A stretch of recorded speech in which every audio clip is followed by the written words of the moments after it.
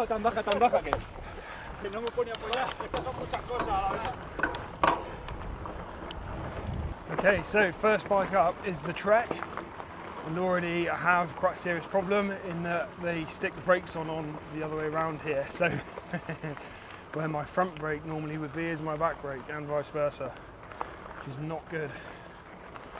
I'm also a little bit dubious about how good this track is going to be.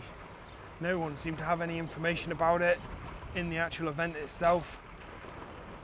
Um, but we'll see. I think it's cross country type stuff more than it is going to be downhill type stuff. Lots of fire roads, I would imagine, which um, isn't very good. But on the flip side, I have back to front brakes, which is so weird.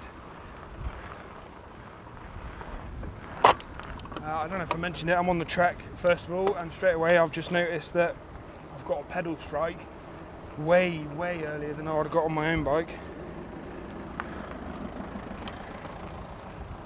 So it's obviously got quite a low bottom bracket on this. And it's hot, hot, hot. It's like 35 degrees, man. But I like the Trek actually. It's it's burly. I didn't expect it to be so burly. Got oversized wheels, real fat, chunky frame. Obviously, still mega lightweight because everything on the bike looks like it's carbon fiber. Yeah, first impressions are pretty good, which is all you're going to get today, really, on a, uh, on a half an hour ride or 45 minute ride.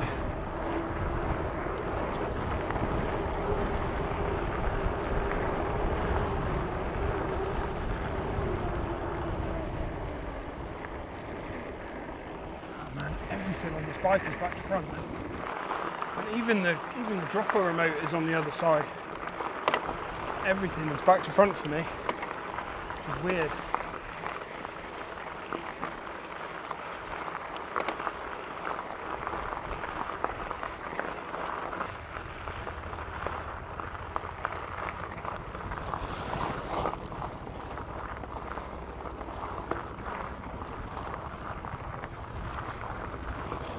Oh, there is single track.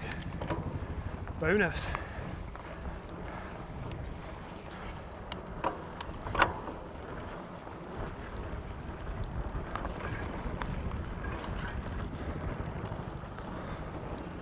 Okay.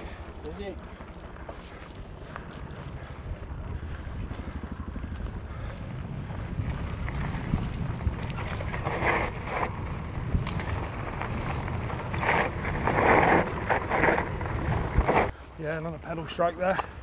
Another one. Maybe that the that the um, suspension is not set firm enough. Doesn't seem bad though.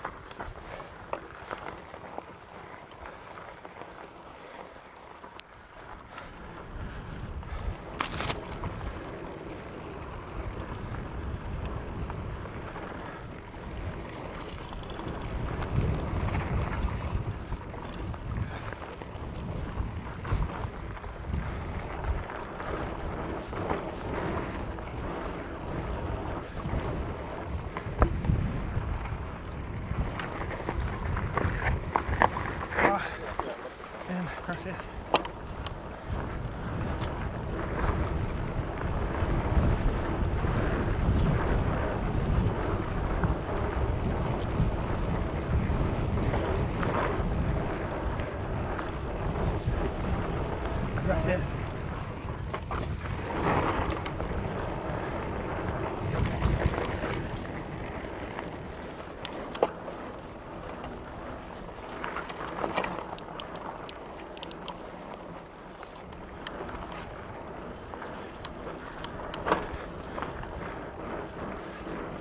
if you can hear that, but I think it's the suspension. I don't know.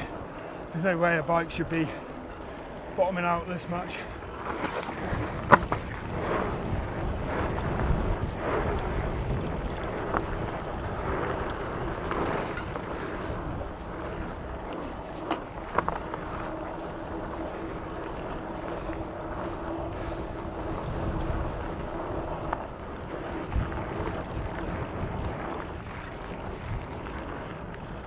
So I'm just going to chime in a few times during this video, guys, just to give you some feedback on the bike and stuff. First of all, I just want to give you a bit of the backstory leading up to this. I had not slept well the night before. I was way too excited.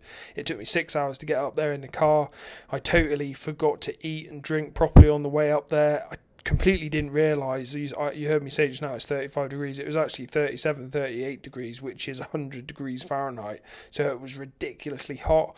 I went bowling up to the stand um, the trek stand got him to set the bike up as per my weight and height which i provided online. He did not set the bike up very well at all. The back just the back shock i go on to talk about that in a minute but the back shock was set up way too soft um, which was what the problem was all along but yeah, I just wanted to give you a bit of the background about the lead up to this. My first demo day um, test ride was a complete disaster, to be honest, but it was kind of perfect because you know your first go at anything should be a bit of a disaster. So I'll let you get back to the test ride. It's not a very exciting track, and the brakes being back to front made it so difficult for me to ride hard.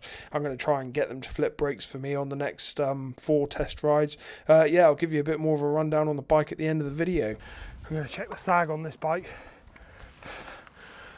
so as I can give you like a definitive answer on the uh, pedals hitting the ground all the time, pedal strikes.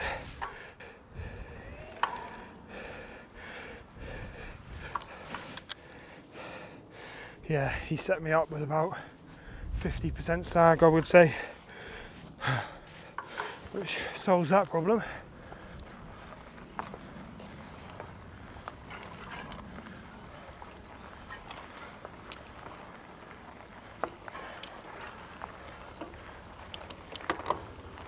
Ride on this. Sorry mate, alright. Back suspension's too soft. This is fucking ridiculous. Every pedal revolution I'm hitting my pedal. Should have bought a track pump, a shock pump. Okay guys, thanks for watching that. I'm going to blitz through a bit of a summary on that bike. Obviously the setup problems that I had were the brakes are back to front for me, which is a massive hindrance when you're riding a bike. Um, it's too short a time to get used to it and you just can't ride properly like that. The rear shock was set up way too soft for me, which mean which meant I was having pedal strikes like all the time, even on, you know, flat ground cornering. Um, so that was a real problem and the tyres were a little bit flat as well. Um, a lot of that's my fault. I should have a track pump and I should have a shock pump, but it's my first time at an expo and I just I'm not really prepared enough. Uh, but I'll get them to set the bikes up properly for the other sort of four test rides. Um, so that stuff kind of set aside with a like an hour of riding on a bike. I can't give a proper review, but my initial thoughts are this: it's a really nice, solid bike. I like um, the frame. It's a carbon fiber front triangle, uh, aluminium back triangle. It's a really nice bike actually. It's really solid, really burly. The oversized wheels I like. I'm a bit um, yeah, I'm a bit not sure really about the oversized tyres. I need to ride them for a bit longer really because um, they were set up too soft on this bike for me. Plenty of grip on the compacted dirt that we were on in this in this trail, but it's not many tires should be having issues with grip on that kind of a trail really. Um, but and I wasn't really able to ride hard enough with the brakes and not knowing the trail to be able to really feel what the tires were up to. But um, yeah, so the jury's out on that one for me. But the bike, you know, size wise, it's a large. I'm a I'm six foot three, quite quite balanced. I haven't got particularly long legs or a particularly long body. I, th- I think I've got a 30 or 31 inch inseam, um, and the bike fit me really well. Uh, so the sizing is spot on with it. So yeah, I, I really like that bike as a first run out. If it was set up properly with the brakes the right way around, I could really have a good shred on that bike. I really really liked it. Um, so yeah, click the top left hand button there for another one of my videos, and the bottom left hand side there. The subscribe button's just below. There'll be some more um, bike tests, four more bike tests to follow after this one, and I'll link those all up as well. So, yeah, thanks a lot for watching, guys, on your bikes.